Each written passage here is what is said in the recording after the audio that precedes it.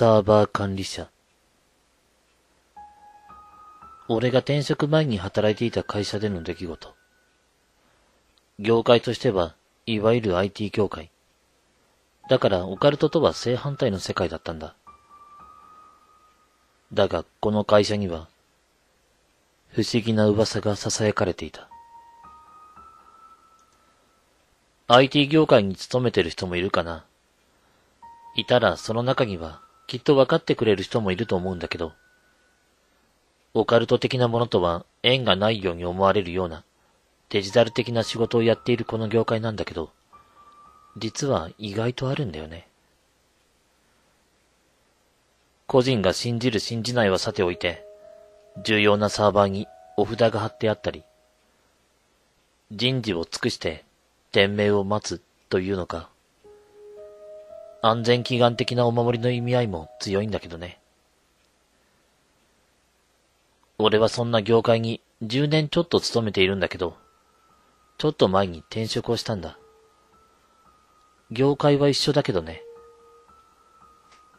この話は転職前の会社で転職する少し前に起きた話。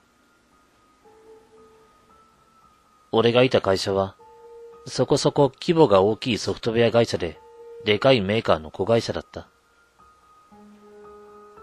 自社で仕事をすることが多くて、必然的に自社内に社内用のサーバーを立てて、管理なり試験なりに使ってた。俺の部署で部署用のサーバーを管理していたのは、愛子という、俺よりも二つ後輩の子だった。で、この愛子に関して、結構オカルト的な話があったんだよね。愛子が体調を崩すと、あるサーバーの調子が悪くなる。風邪で休んだ時は、妙にレスポンスが遅くて、インフルエンザで休んだ時は、原因不明のフリーズを繰り返して、日に2回は強制終了を余儀なくされていた。サーバーとは言っても、あくまでも社内向けのもので質はピンキリ。そのサーバーは、もともとは別の部署で使っていたものの転用で、寿命も近かろうということもあったんで、多少の問題くらいは、まあ、こんなものだろう。で、みんなそんなには問題にせずに使ってたんだ。普段はそれなりに会長に動いていたしね。で、この話はまあ、酒の席なんかでそこそこ話題になったりしてた。マシンの管理って言っても、実際にマシンはサーバールームに据え置かれていて、メンテらしいメンテも特に毎日やるわけではない。愛子が休んだことでサーバーの調子が悪くなるってのは不可解としか言いようがなかったからだ。とはいえ、それで愛子が気味悪がられることもなかったし、そういうこともあるのか、不思議だな、くらいにしかみんな捉えていなかったと思う。そのサーバーを使う作業がある日の前日には、愛子に体調を崩さないでくれよとか冗談交じりに話していたくらいだし、そんなある日、愛子が体調を崩して会社を休み、案の定そのサーバーが調子が悪くなった。昼休みが終わって、午後の業務が始まった直後くらいに応答不能になり、ついには強制終了後に、きれいに立ち上がらないような状態にまでなってしまった。ハード関係はあまり詳しい奴がいない部署だったんで、とりあえずはよくわからないが置いておこう。愛子のこともあるしね。なんて話して、愛子が復帰後にまだダメなようなら、ハード故障として専門の業者なりに頼もう。そういうことになったんだ。偶然ではあったけど、直前にフルバックアップも取っていたし、その日はそのサーバーを使う作業もなかったから、特に焦ってもいなかった。その日は特に何事もなく業務は終わったんだが、次の日出社すると、近くの席に座っていた上司が深刻そうな顔をしている。何事かと尋ねると、昨日遅くに愛子の親御さんから連絡があって、愛子が亡くなったそうだ。愛子の実家は、愛子が住んでいた部屋から割と近かったため、夜に体調を崩した愛子の見舞いに行ったところ、部屋の中で倒れているのを見つけて、病院に連絡をしたが手遅れだった。そんな内容を、その後、通夜に参列した上司から聞いた。原因は何やらはっきりしなくて、おそらくは心筋梗塞だろうというような話だった。不健康な生活を余儀なくされがちなこの業界では、その中でも特に不健康な人間が倒れる事態はままあって、それなりに聞く話でもあった。当然というか、労災についての話もあったんだが、愛子は体調を崩しがちな子だったこともあって、残業はそんなに多くはなく、揉めるような話にはならなかったらしい。そして例のサーバーはというと、結局愛子が死んだあの日にフリーズをした後、立ち上がることはなかった。ハードを扱う業者に見てもらったところ、これは寿命ですね。ハードディスクのドライブがいっちゃってますよ。とのこと。他にも色々とガタが来ているらしく、また、ハードディスクを取り替えてまで使い続けるにはちょっと古すぎることもあって、結局サーバーは廃棄になった。この話は、これまでの経緯を知っている人間には、当然のように愛子の死と関連づけられ、部署の中では、愛子の後を追ったのかな、みたいな空気になってた。ただ、最近考えるんだよね。死因がはっきりしない愛子と、寿命に達したマシン。後を追ったと言うけど、本当はどっちが先だったのかな？後を追ったのなら美談のうちかもしれないけど、連れて行かれた、だとしたら、ねえ。最後はちょっと気にしすぎなのかなとも思うけど、昔の俺の職場にいた不思議な人間、あるいは不思議なマシンの話でした。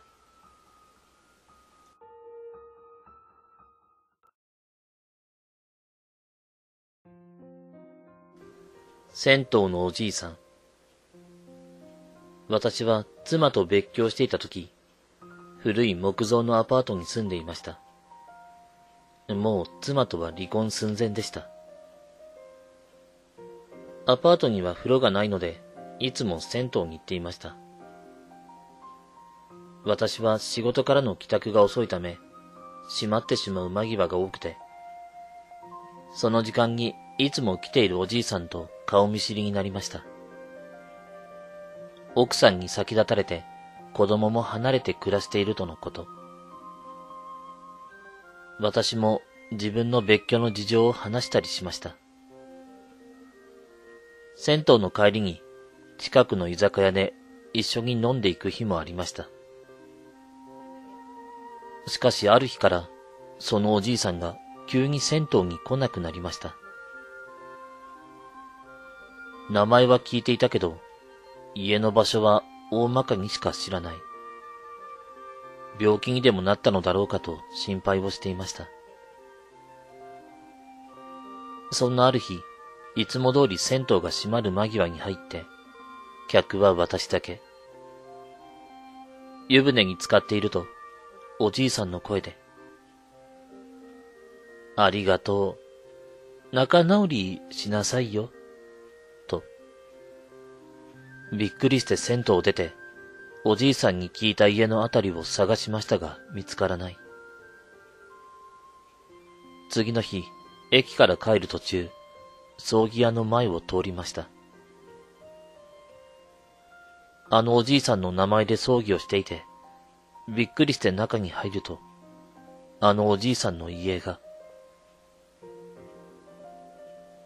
銭湯でお付き合いがあったんで、お線香をあげさせていただきましたが、次の日に離婚寸前だった妻が私に会いに来て、夢で知らないおじいさんにあなたと仲直りをするように言われたから、せめてもう一度お話し合いをしましょうと。それがきっかけになって、今現在は仲良く暮らせています。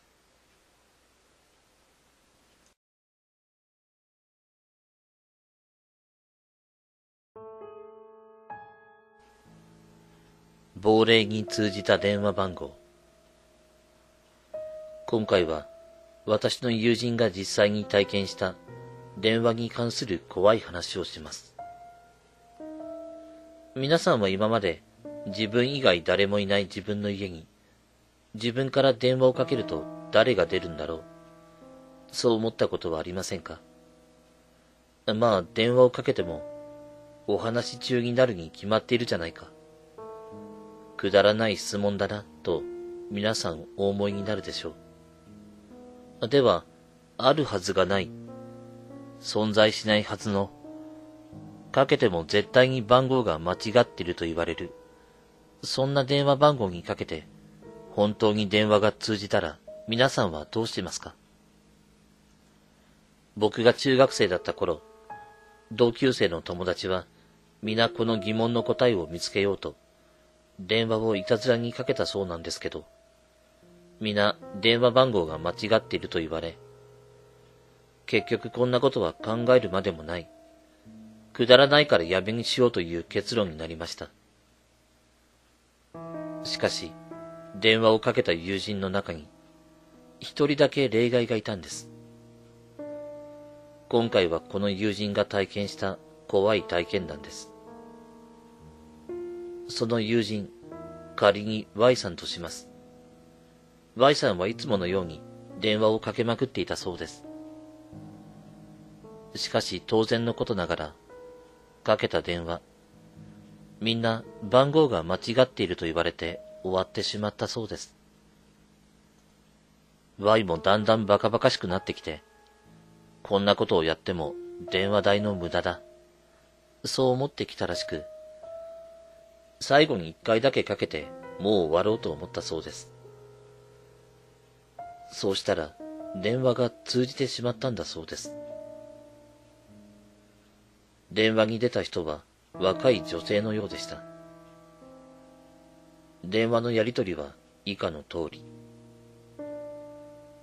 はい、〇〇ですが、どちら様ですか？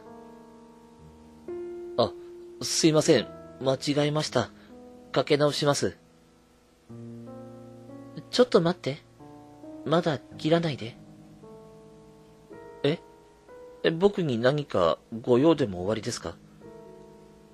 失礼ですけど、どこかでお会いしましたっけ？今、どこから電話かけてるの？ねえ、今どこから電話かけてるのよ。教えてよ。ねえ。えっと、今、僕の自宅からですけれど。そう。わかったわ。それじゃあ、今からそっちに行くから待っててね。女性はそう言って電話を切ったそうです。Y はびっくりして受話器を置きました。すると、お待たせ。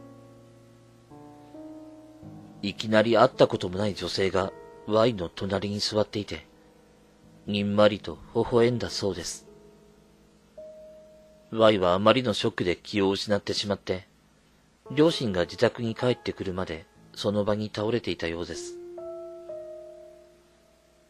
私たちは翌朝、Y からこの話を聞いてびっくりしました。そしてそのうちの一人が、じゃあ、今日学校が終わったら Y の家に行って、もう一度その電話番号にかけてみようぜ。そう言い出したのです。私たちはこの時は怖いもの見たさで、皆この意見に賛成しました。そして学校が終わった後、みんなで Y の家でその電話番号にかけてみました。しかし電話が通じません。何度かけてみても、間違い電話だというばかりで、電話は通じないんです。最初はみんな、Y が嘘を言っているのではないかと思いました。でもすぐに僕たちには、Y が嘘を言っているようには思えなくなりました。なぜなら、Y の家の電話のそばには、女性のものと思われる、長い髪がちらほら落ちていました。そんな長い髪をしている人は、Y の家族にはいないんです。それきり、その遊びはもうしていません。だって、本当に電話が通じたら、やっぱり怖いですから。